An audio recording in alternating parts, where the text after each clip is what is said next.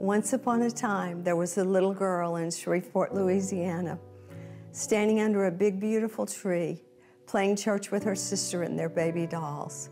At the same time, there was a little boy who had just moved on the same street, riding his bike in the neighborhood. That little girl was me, and that little boy was Jerry Savelle. At that time, I turned to my sister and said, That's the boy I will marry one day. We will preach the gospel and go to Africa. After graduation at 17 years old, I married that little boy. The night before our wedding, I told him that the Lord had shown me that the man I married would be a preacher and go to Africa. He said, You're marrying the wrong man. I'm going to spend the rest of my life on a racetrack. He tells the story this way I said, You just go in there and tell the preacher I do, and me and God will do the rest. On our honeymoon at Six Flags over Texas, we heard for the first time the song Dream, the Impossible Dream. And that's exactly what we've done together for 57 years and nine months. God gave me a special grace to be married to a man who had a call on his life to travel across the globe. He was gone on an average of 21 days a month, so I got used to being alone, eating alone, sleeping alone, but I always knew he would walk through that kitchen door and come home to me. Typically, I would get a text or phone call and he would say, Hi, Squirt, want to meet me at Cracker Barrel? We always look forward to our lunch dates, our times at the river house, and our yearly vacations in Hawaii with our friends. He was the most Christ like man I've ever known. He was the mirror image of Jesus to me. He was faithful to me. He was loyal to his friends and deeply devoted to his family. Our daughters were the absolute love of his life. Jerriann and Terri were daddy's girls. His seven grandchildren and two great grandchildren brought the greatest joy to his heart. Jerry Savelle was born to be a papa. What attracted me to Jay, that's what I've lovingly called him, were so many wonderful attributes everything from his sense of humor. He always had me laughing. He loved children and he loved the elderly. He was such a gentleman. He knew the lyrics to every 50 song and the artist and who wrote them and would even sing them to me.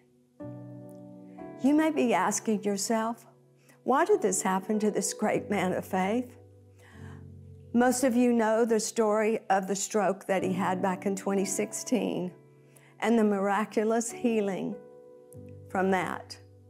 At that time, he was told by the doctor to come back in a year after recovery and have another procedure to another clogged artery. We as a family were on him to have this done. Eventually, he scheduled another surgery in 2020. But that was the week the pandemic happened and everything was shut down. His surgery was canceled. He continued on with his vigorous schedule as travel and ignored his health issues despite the urgings of his girls and I. He never complained or expressed symptoms of any kind, except in the last several months. He seemed extremely fatigued.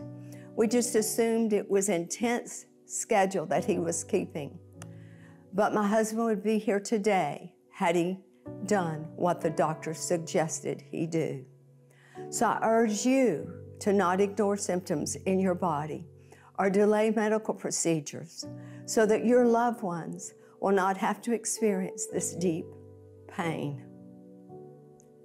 I will say that Jerry went out doing what he loved to do the most, and that was pre- preaching Jesus, talking people into winning, and giving to others until the very end. There's so much more that I could say and would want to say about this wonderful man.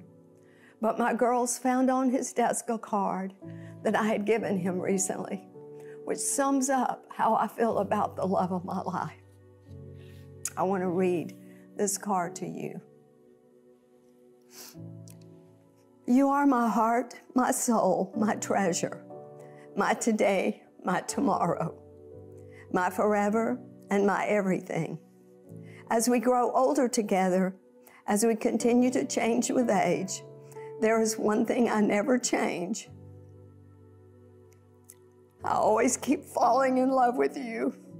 I love you always and forever.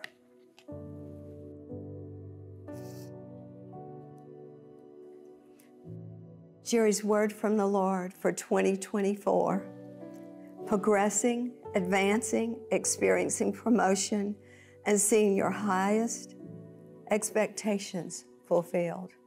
This is truly what happened to him. And I want it to happen for you in this 2024. I want to also thank you for your love, for your support for me, for my family, and for our ministry. We love you and we thank you for everything that you mean to us.